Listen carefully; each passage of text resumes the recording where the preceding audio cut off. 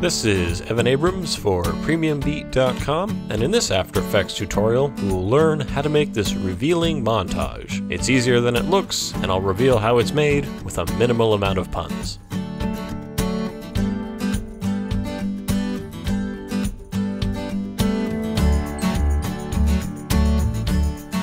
In After Effects, we are going to do a few steps. The first thing is to bring in our footage then we will add some elements, and then we will use those elements to define where we can see the footage.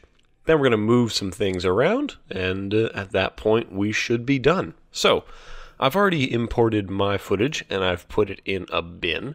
So I'm going to create a new composition. I'm going to use the HD TV 1080 25 frames a second preset and we're going to have a width of 1920 and a height of 1080.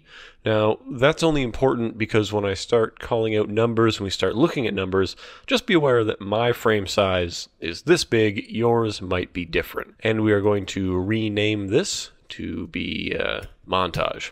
All right. We're going to take our footage and bring that out here. Great. So now we have all of our footage. You can see it's different lengths, and you know some of these might even be different sizes. So let's um, let's select them, okay, and let's pre-compose them. So I'm going to pre-compose. I'm going to call this A, or you can call it footage A, or you know foot A. So footage a should be good, and we're going to move all of the attributes into the new composition. Now that's so that we can do things to this footage in here, like we can, you know, we can time remap it, we could put other footage on top of this, and we could, you know, we could just edit it up in here. So if we need to do that, we can. And out here in this comp, it's going to have the same frame size that uh, that we left. So we're going to pre-compose this one as well. I just hit Control Shift C, and that's going to be footage uh, B, I believe, for that. And we're going to again move all the attributes into the new composition. Uh, you can also go Layer, Pre-compose, if that's something you want to do. So again, we're going to go Footage and uh, Footage C, I guess. Good. And the final one, that's going to be footage D. Okay, so we have our footage, and our footage is in here nicely. Now we need to create things that are going to reveal that footage. Okay, so what that means is I'm going to first create uh, that nice sort of uh, cross grid pattern that went through here. So I'm going to make sure I have nothing selected, and then I'm going to double click on the rectangle. I'm going to make sure it has a fill with a brightness of 10%, no stroke needed.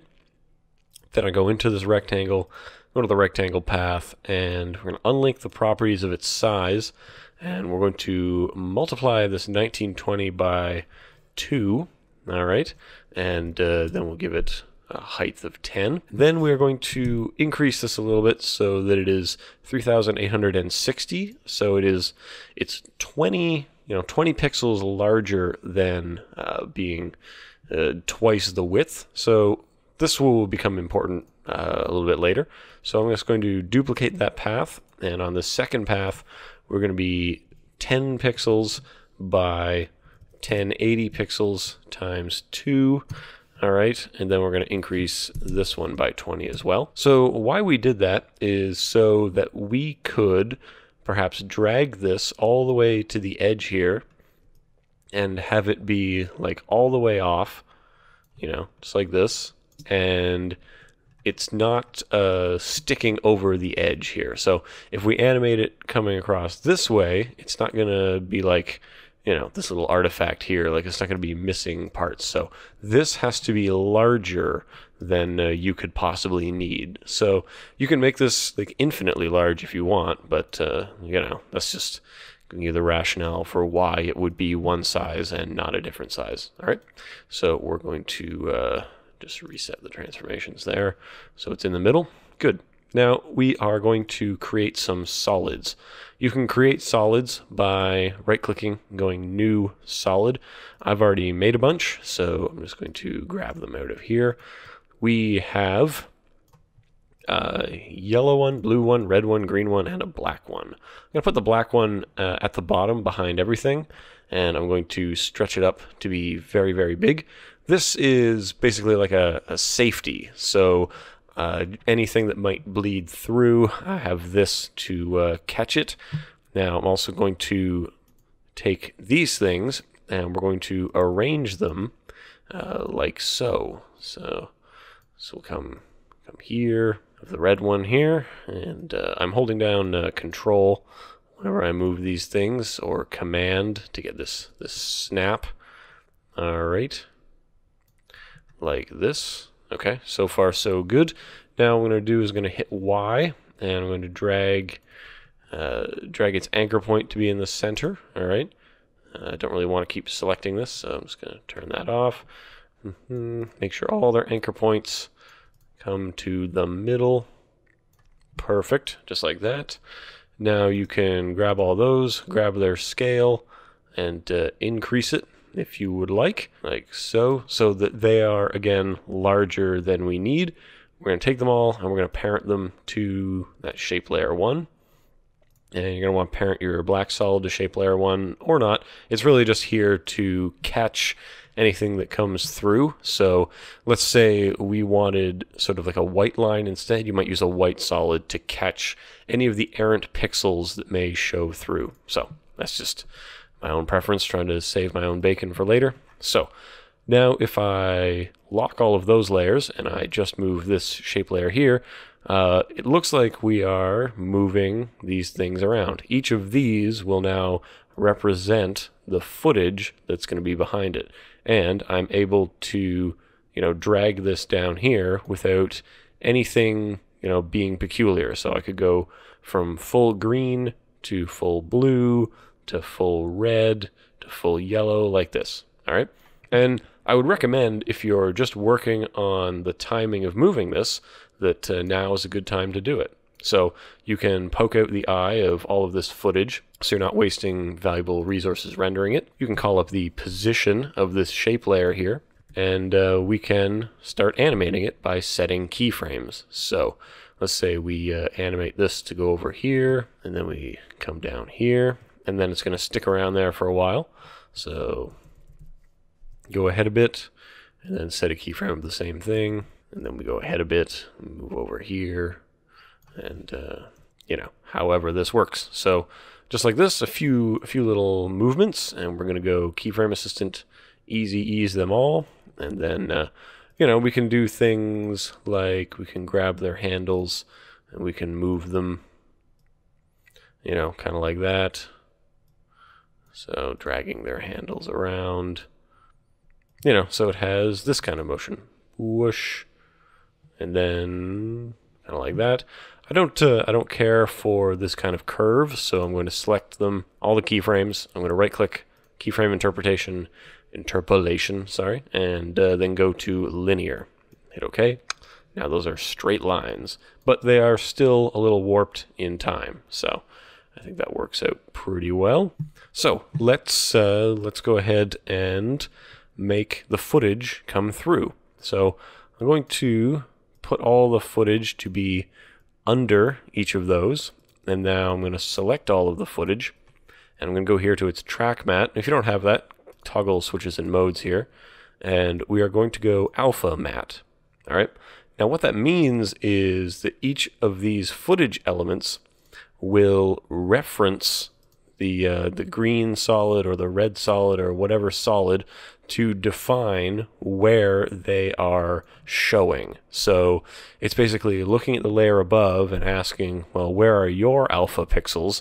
Okay, well, then I'm going to make mine like yours. So, you know, when you can see this is yellow, well, now instead of this being yellow, it's we don't look at it, but the layer below it knows to display itself there. So that much is pretty good. So you've got basic split screen stuff going on. And you're also able to, you know, keyframe the motion of these around if you want. So if you scale them up, you can move them about. And what I did was I automated some of their movement uh, in relation to this solid moving around. So the first thing I did, because I knew I was going to move these, was I scaled these up.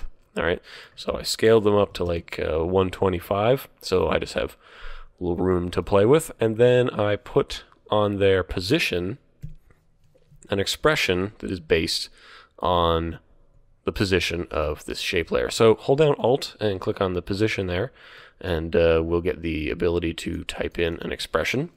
And we're going to start by setting up a couple uh, couple variables. So we're going to say x equals, we're going to say 960, which is the point in the center. Uh, 960 subtract and subtract the x value of the shape layer position. So what's the difference between 960 and where it is presently? And then we're going to put that in brackets. All right, so right there. And then we are going to multiply that by, say, 0.25, and we're going to add a little semicolon at the end. Okay, now copy that on the next line, and we're going to say, instead of x, we're going to say y. And y is going to be 540 minus uh, this comp layer's position 1. So we're looking at shape layer, we're going to look at this part of the shape layer. So position part 0 is x, and position part 1 is the y coordinate. Okay, and then multiply that by 0.25 as well. Okay, cool. And then the final output of this is going to be value, so the value of this thing usually is, and then we're going to add to that x comma y. All right. Hit return, and you can see it has moved now. All right, so it's moving around as this thing is also moving. So that's pretty neat. And you can change the positive and negatives on here if you'd like to have it move either, you know, in the same direction as as this thing, or you could have it move in the reverse direction. And you also have the ability to still keyframe it. So, you know, you could have it uh, you could have it start with a scale and position here, and you know you want it to end up like this, but at the start, you could make it have a scale of 100%, you know, and a position that is still at 960 by 540, you know, or wherever. Like you could just move it and position it to be right there. And then before all the fun starts, we zoom in and then we move. Or we could even move this to start getting different as this move happens. So that's a good way to hide our change into this split screen uh, mosaic montage. So I think that's a that's a good place to stop because now you know how to get in and out of this kind of thing. So you know, hopefully this has uh, taught you a thing or two about uh, how to make this kind of thing and uh, how to show and hide footage. This has been Evan Abrams for PremiumBeat.com, your source for royalty-free sound effects and music. I'm sure every montage needs some music, so you should definitely go pick some up and maybe some whooshing around uh, sound effects. That would be pretty rad. If you want to check out more tutorials on Premium Beat, check out the blog. There's great stuff there by myself and other contributors. And if you want to see more of my stuff, check out uh, EC Abrams on the YouTube or tweet at me at EC Abrams or hit me up at evanabrams.com. There's a bunch of good stuff there. Anyway, thank you so much for watching. Subscribe to Premium Beat in all of its forms, and I'll see you around the internet. Thanks again, and have a nice day.